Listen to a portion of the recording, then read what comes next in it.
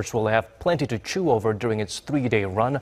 The event comes just a few days after North Korea's latest nuclear test. First held in 2012, the annual conference is modeled after the Asia Security Summit, better known as Shangri La Dialogue, held every year in Singapore.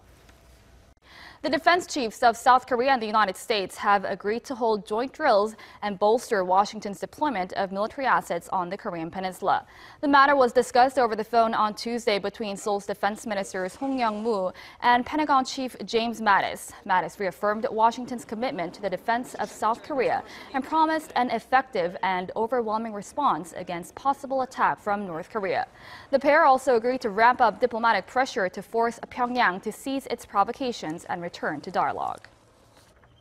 Now, the White House says it's focused on pursuing aggressive diplomatic and economic measures on North Korea, which do not include dialogue, for the time being at least. White House Press Secretary Sarah Huckabee Sanders said on Tuesday the priority of the Trump administration was on the denuclearization of the Korean Peninsula and the protection of American citizens. She added, now is not the time to spend a lot of time trying to hold talks with the regime. Sanders reaffirmed President Trump's stance that all options remain on the table and urged other countries, including China and Russia, to help deter further provocations from Pyongyang. The United States and Russia have clashed at the UN Security Council over new sanctions on North Korea, following its most powerful nuclear test to date.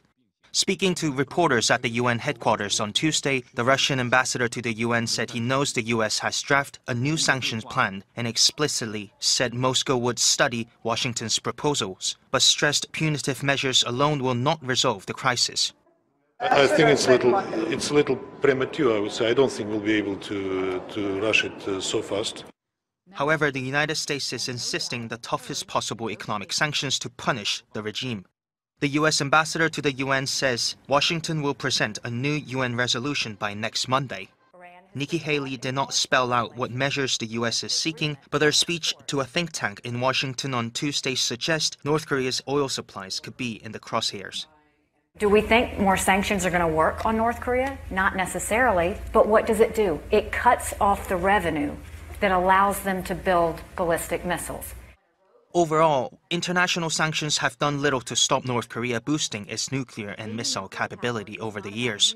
Despite facing UN sanctions since 2006, North Korea's economy grew at its highest rate in 17 years in 2016. Time this year, the UN Security Council has met regarding the threats coming out of North Korea. According to U.S. Ambassador Nikki Haley, Kim Jong un's actions cannot be seen as defensive. Kim Jong un shows no such understanding. His abusive use of missiles and his nuclear threats show that he is begging for war. According to Haley, the U.S. does not want to go to war, but also cautions the country's patience is not unlimited. Here she's alluding that the U.S. will defend itself when North Korea issues threats with myth from the Washington Post points out that Pyongyang's actions have been clearly telegraphed. The author refers to a statement from the official Korean news agency. It said the Army's top missile unit was drafting a plan to create an enveloping fire around Guam. Well, the plan would be sent to Kim, who would then make a decision mid-month. And as you can see in these photos of Kim grinning ear to ear, the agency reported on August 15th that he went to see the missile unit's leaders to review the plan. And on the heels of the joint U.S.-South Korean military exercises on August 21st, the news agency quoted Kim as saying he would keep an eye on, quote, the foolish and stupid Yankees. Seeing these annual exercises as a pretext for an invasion, Pyongyang fired intermediate-range ballistic missiles allegedly capable of reaching Guam just two days before the end of the exercises. the U.S. followed suit by way of sending another fighter jets and stealth planes on a bombing drill near South Korea's border with North Korea on the final days of the drills. And the article cites several warnings from Kim. On New Year's Eve, Kim said his rocket scientists were in the final stages preparing for a launch this was carried out back on July 4th, and the U.S. is taking notice. On Sunday, U.S. Defense Secretary James Mattis said any threat to the United States or its territories will be met with a massive military response. It's a serious warning, yet again, Pyongyang ignored such warnings before. In Washington, Natasha Sweets. The wording was more subtle, at least by North Korean standards, but the message was clear. North Korea's ambassador to the UN, Han Dae-sung, said his country would send more gift packages to the U.S. if Washington continues to turn up the heat on the regime. Speaking at a UN arms conference in Geneva on Tuesday, the envoy said he was proud of Pyongyang's latest nuclear test, saying it's a necessary deterrent against perceived signs of hostility from the U.S. The recent self-defensive measures by my country, DPRK, are gift package addressed to none other than the U.S. The U.S. will receive more gift packages from my country as long as it relies on reckless provocations and futile attempts to put, to put pressure on the DPRK. Han stood defiant despite the wave of condemnation and growing isolation being faced by the regime, saying pressure and sanctions would be a futile and wasted effort in deterring his country. He ruled out the possibility of any talks on North Korea's denuclearization, saying Pyongyang's nuclear deterrent is a topic that is off limits and non-negotiable in any future dialogue. Washington's ambassador to the UN, Robert Wood, responded by saying the regime's nuclear and missile programs were a threat to the entire world. He said North Korea can no longer be allowed to continue its violation of international law and that it was time for the global community to put its foot down once and for all. Now is the time to say to the regime that provocations, threats, and destabilizing actions will no longer be tolerated. Following North Korea's nuclear test, the UN Security Council held an emergency meeting on Monday to formulate a response. While Washington and its allies have called for a broadening of sanctions on the regime, China and Russia are still questioning the efficacy of such measures. It tests its sixth and most powerful bomb to date. This as new reports surface that the rogue nation is preparing for more missile tests and threatening to send, quote, gift packages to the U.S. So what options truly are on the table? Here to weigh in, retired Green Beret commander and former counterterrorism advisor to Vice President Cheney, Lieutenant Colonel Michael Waltz. Colonel, thanks for joining us this morning. You say thanks, there Pete. are, you know, there are three different, there are many different uh, uh, avenues, but specifically, you've got a diplomatic avenue, you've got a military avenue, and economic avenues. What in particular in each one of those lanes can the U.S. do to prevent Kim Jong-un from getting exactly what he wants? Well, there's some things that we can do, I think, to change the Chinese calculus, and they are key here. And that'd be they the could, diplomatic side. And that be on the diplomatic side, that's right. Uh, you know, the Chinese are trying to have it both ways. On the one hand, they agree with us in public and they agree to sanctions, but on the other hand, you know, they don't really enforce the sanctions because they are afraid that if they choke North Korea off, uh, economically that the regime will collapse. We'll have a unified peninsula that's friendly to the United States right on Chinese borders. So how do we change that calculus, both diplomatically and then eventually militarily, so that they see North Korea as more of a problem that it's worth and they take meaningful action? So you, think, how, yeah, how sure. do you squeeze China? Just briefly on that. I mean, yeah. what, what, what more can be done to bring them to that table? Well, militarily, a couple of things. One, South Korea has asked for tactical nukes for the United States to look at reintroducing tactical nuclear weapons back into the South Korean mm. peninsula. We had pulled them out under Bush Sr., uh, and the South Korean defense minister recently asked for us to put those back in. Secondly, the Japanese are looking to to hugely modify and increase the, um, the lethality of its military. Its constitution constrains, its post-World War II mm -hmm. constitution, constrains the Japanese from taking offensive military action. I think if we look at both of those things in a serious way, that will, that will in a big way wake the Chinese up to where they look at a changing regional dynamic, its adversaries and its rivals, the South Koreans and the Japanese, backed by the United States, starting to step things up to where they look at continuing the status quo with North Korea is more of a problem than it's worth. And, and I think it's only then will they start to take meaningful action. You mentioned the military side, TAC nukes, uh, as a potential first strike capability or a response. Uh, we're doing a lot of military exercises in the region. Yep. Is, that, is that effective as a show of force, or is that only forcing Kim Jong-un to go faster so that he can sort of preempt our preemption? on the military you know, side. I think it's a response that we have to have and that we have to make to show our capability. But Pete, to be honest with you, we've been doing this for years, this kind of tit for tat and war games. But I think, and, and, I don't think that the North Koreans are going to respond to that. Who we need to respond are the Chinese. And if the mm. Chinese see Japan rearming in an offensive way, and they see uh, TAC nukes getting back into South Korea in ways that they seriously don't like, then that may change the calculus enough to where they take action against Kim Jong Un and sure. either force him to stop or force regime change in North Korea in Chinese terms so that that allays some of their fears but stops this march towards, uh, towards what could Sure. be a horrible war on the peninsula. Uh, so you talked about the diplomatic and military options. Uh, the Right. economic side is where you can really Yep. put the squeeze to North Korea, Korea vis-a-vis China as well. Talk a little bit more about that. Well, we've started, we have just started, uh, and we being the Treasury Department, sanctioning Chinese entities and Russian entities, both banks and individuals and companies that are doing business with North Korea. We need to continue that. I think we need to expand it, and then we need to build an international coalition so that it's not just the United States sanctioning those international, uh, sanctioning those Chinese entities, but also Australia, Europe, uh, Southeast Asian allies and others so that, again, now you have economic pain, you have military and diplomatic threshold being raised against China to where all of those things combined force some change in their attitude towards North Korea because right now, China is content with the status quo. They really right. don't mind having a buffer state, uh, and the collapse of the North Korean regime scares them more than all of those other factors. Oh, great points. We have Actually, no sane person wants a war. If there were any other way, if someone can produce this magic formula at the last minute that will get North Korea to stand down, I am all for it. I would rather see my retirement investments drop than see bombs drop. But this is a, an, literally an existential issue for many Americans.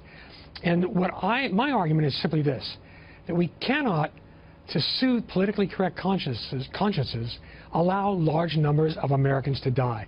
We cannot allow a regime that explicitly and repeatedly, indeed constantly, threatens to attack us, to devastate us, to turn America into an inferno.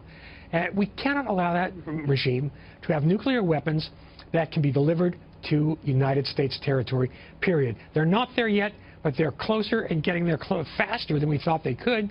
And so at some point, if it's a choice between dead North Koreans and dead Americans, I choose dead North Koreans. Well, you know what's interesting here is that Russian President Vladimir Putin says that North Korea, Korea would rather eat grass than give up their nukes. Does that Yeah. sound like there's room for negotiation to you? Well, Putin would have been better put say that the regime wouldn't mind its people eating grass to preserve its nuke program. The people of North Korea have been starved and battered and incarcerated and killed. Uh, the regime doesn't care about the people. What they want doesn't matter at all. And by the way, they have eaten grass during various famines. But this regime, Putin's right when it comes to the regime, they, you know, they, they have now tied their survival to nuclear weapons. It's a, it's a much more brittle, uh, hollow regime than people realize. The vaunted North Korean military is not nearly as good as its numbers suggest. Even the idea that Seoul is a hostage that's going to be devastated in the opening minutes of a war is not necessarily so. So I think what we need in Washington is a fresh look. Get away from the, received wisdom, which isn't very wise at all. Focus on what matters, which is protecting our people. And Cheryl, look, this is really very simple when it comes to moral and ethical aspects. If someone is pointing a gun in your face, walking toward you and screaming, I'm going to kill you, you have the legal and ethical right to draw first and fire, or draw on him and fire and, and kill him.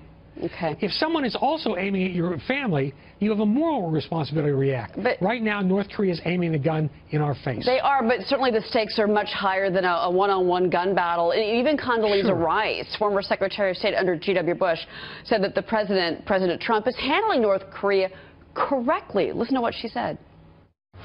No American president can tolerate a somewhat unhinged North Korean leader because if he's not crazy, he is reckless. And what the administration is trying to do, and I support what they're trying to do, is they're painting a very bleak picture for the Chinese. That's the only country with any real leverage. What the administration is saying to them is, your choice now is either we do something about the North Korean problem or you do something about the North Korean problem. And hopefully that will get through the Chinese because the military solutions here are not very pretty. Okay, so is China the answer? Is China going to finally wake up and come to the table and realize that North Korea blown to bits is bad for the Chinese economy, bad Well, for the Chinese people? Well, for China to crack down on North Korea, its only military ally, would be a miracle on the order of the loaves and the fishes. And I think, you know, President Trump, to his credit, at first he was taken in by President Xi of China. But now he's realized that Xi was playing him, that China's not helping. And indeed, Condoleezza Rice is right on every point. China is the only country that could possibly bring sufficient pressure on North Korea to stop it. But North Korea is their only ally, and they see us as China sees us as a long-term enemy. So we're asking them to help their help their enemy against their only ally. I have trouble believing it'll happen, but we can we can, we can always hope, but while we're hoping, we need to prepare to do what it takes to mm -hmm. devastate North Korea's nuclear capability. Well, you've got more than 20 Hiroshima. What should we do now? Well, I think what we do is we go after North Korea's sponsors, Russia, but more important, China. And China right now is vulnerable. You know, their biggest banks, Bank of China, for instance, named in a 2016 UN report for devising and operating a money laundering scheme, that's a violation of our Patriot Act. What we could do is declare it a primary money laundering concern and that would deny it access to dollars. Without dollars, it's not doing business outside of China. It's also not doing a lot of business inside China. It's a death sentence. You know, and it's and Bank of China, as big as it is, like the fourth biggest bank in the world by assets, is not the biggest Chinese bank that has been money laundering. So you know, this gives President Trump a really important point of leverage on the Chinese because he said, look, I can take your financial system down. If I take your financial system down, so goes your economy. If your economy goes down, there's probably no more political system with the Communist Party in it. And so this is a way to do this. Now, I'm not saying 100% it's going to work, but I'm also saying that war is catastrophic, and we have It is catastrophic, and we're talking about millions of people who could die in Seoul and in North Korea and in Japan and in Guam and eventually the western United States. That is not an option. So we have to talk about these unorthodox methods, and we also also have to look at because, you know, we have this real black and white way of seeing the world. As though China were just one thing, North Korea is just one thing, but there are those networks, there are banks, there are ways that obviously North Korea is getting materials it needs to build nuclear devices. It's getting missiles. It's, it's getting uh, nuclear and military reinforcements. That's coming from somewhere, and the somewhere is not necessarily these state actors, but these, these tunnels, if you will, these networks. Well, you know, there are a lot of Chinese companies companies that have been supplying things like uranium hexafluoride, which is semi-processed fissile material for their nuclear weapons program. We know that the, the transporter erectors, those big vehicles that bring North Korea's most important missiles to the launch sites, those are Chinese. And so, you know, that means that the Chinese military is behind this. And so we've got to go after not only these entities that have been supplying North Korea with all this stuff, but of course, all the range of support that North Korea is getting from the Chinese, yeah. from the Russians, and from others. We can do this this. You know, John Bolton, during the administration of George W. Bush, had his Proliferation Security Initiative. We need to reinvigorate that because we know the North Koreans sell this stuff to the Iranians, to the Syrians. Each year, it's estimated that Iran pays North Korea somewhere between two and three billion dollars for their various forms of cooperation, which are missiles and also uh, nuclear weapons tech. So this is important for us to do. It's like the most important thing for us to do. No, it, it really is, and I, I think there are a number of ways of putting pressure here because, uh, you know, as I said, China doesn't want a war. And if they do a cost benefit analysis, if they look at the economic impact of, of, sanctions and some of these, uh, these punishments that we could put in place on them versus an all-out war, uh, because I, I, understand China doesn't want to see a reunified Korean Peninsula with Seoul at the helm, which is, of course, an ally to the United States. But what is worse for China?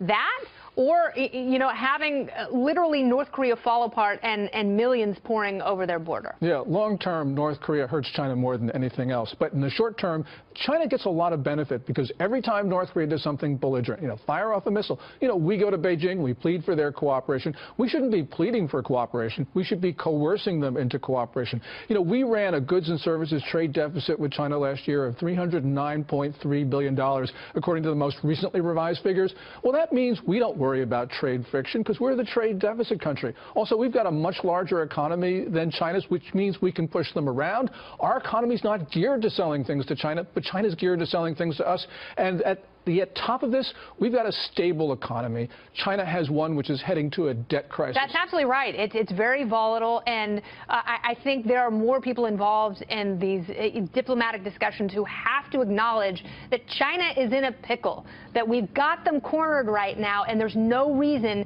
that we should be the ones spearheading a war where it's going to cost American lives, not to mention the millions of lives of those in the region. Yeah, and, China can actually solve this because, you know, China accounts for like 90% of North Korea's trade. More than 90% of its oil is supplied for China, much of it on concessionary terms. But the most important thing that China supplies is confidence to regime elements. I'm not sure that Beijing could ever convince Kim Jong-un to give up his nukes, but what Beijing can do is those people who are around Kim that keep the regime together, China can signal to them that it no longer supports the yeah, nuclear and weapons that, that they program. are safe. against Pyongyang. Let's take a listen to what they said. We've been clear about what our priorities are, that now is not the time for us to spend a lot of time focused on talking with North Korea, but putting all measures of pressure that we can, and we're going to continue through that process.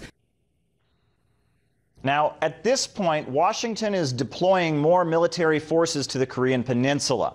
Uh, according to the U.S. Navy, more troops and military hardware are on their way. Furthermore, we've heard from a U.S. Army commander who says basically that, uh, that this is what uh, a response uh, to what he's calling uh, North Korea's uh, self-destructive actions. However, we're hearing quite a different tone from the leaders of South Korea.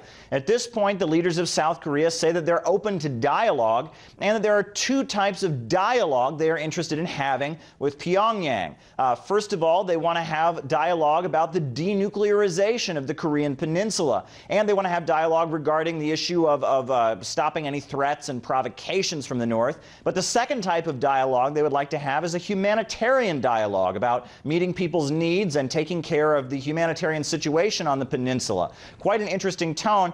However, we're hearing something quite different from U.S. leaders. Now, it should be noted that Japan is also expressing uh, an interest in peace and cooperation. We've just heard that the Japanese prime minister hopes that North Korea could be pressured to change aggressive policies with consolidated international efforts, and that Tokyo hopes that strengthening mutual trust in Japan, in Japan and Russia relations will eventually result in the signing of a peace treaty. So we're hearing different calls for peace uh, throughout uh, Asia. We're hearing calls from, from China. We're hearing calls from Russia, from Japan, from the leaders of South Korea for dialogue. Uh, however, we are hearing this kind of talk of more military solutions, sending more troops and military hardware to South Korea coming from the United States. Now, South Korea and the USA are allies against North Korea, but they have very different tones when it comes to the Korea crisis. It's pretty clear, however, that if fighting were to break out, the people in South Korea have a lot more to lose than the folks in Washington, D.C.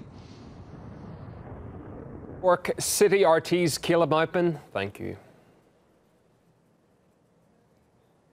Well, Nazir Ahmed, a member of the UK's House of Lords, believes the US military presence in South Korea is proving counterproductive.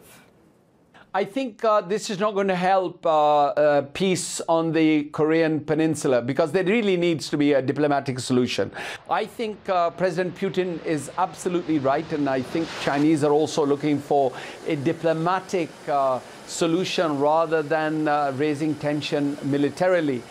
because the more we've seen in recent years, the more uh, military threats or uh, rhetoric that is coming out of Washington or South Korea, the response from the other side uh, is not getting any weaker at all. And you know, there are limited options uh, that you can do. And uh, when you see country like North Korea with nuclear weapons and also weapons cap capable of carrying these uh, huge bombs, then I think that people, diplomats need to find a solution rather than military. The Russian president has said any further sanctions against North Korea over its nuclear program would prove useless. Vladimir Putin also warned that the ongoing escalation could trigger a, quote, global catastrophe. He was speaking to media at the annual BRICS summit in China, as Kate Partridge reports. It was a very comprehensive post summit conference by President Putin. But of course, one of those key points was about North Korea.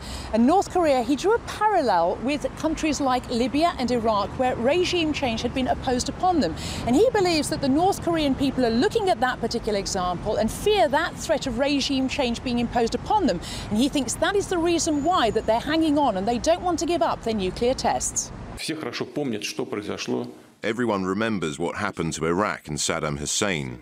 He stopped the production of weapons of mass destruction. Regardless, under the pretext of searching for those weapons, Saddam himself was destroyed, alongside his family members. And they remember that in North Korea. Do you think that just because of sanctions, North Korea will forget its policy of creating weapons of mass destruction? Russia condemns those North Korean actions. We think they are a provocation. North Koreans, as I told one of my colleagues yesterday, would rather eat grass than give up on their nuclear program, unless they feel safe. President Putin was pointing out that the US response towards North Korea has been sanctions, and it seems lately as well with yet more sanctions. But President Putin was at pains to point out that he feels that this is a dead end approach. He doesn't back the nuclearization of the peninsula. In fact, he and President Xi of China have been very much against it, saying that it was unacceptable. But he believes that North Korea will carry on regardless. They want the militarization, they want the nuclearization of the peninsula, and therefore they'll carry on regardless of sanctions. So President Putin thinks that's therefore it's a waste of time time. He also finds it illogical whereby Russia and North Korea have been put on the same sanctions list before and therefore it didn't work. And now the US is saying that they want Russia's help in trying to impose sanctions upon Pyongyang. It's absurd to put Russia on the same sanctions list alongside North Korea and then ask us to help impose sanctions against North Korea. The sanctions regime has hit a wall. It is not effective but it is also to do with the humanitarian side of things. No matter what we do to North Korea, North Korea's actions will not change, but millions of people will suffer. President Putin reiterated his policy and that of President Xi as well, in that they believe the only way forward is through diplomacy and get around the negotiating table once again.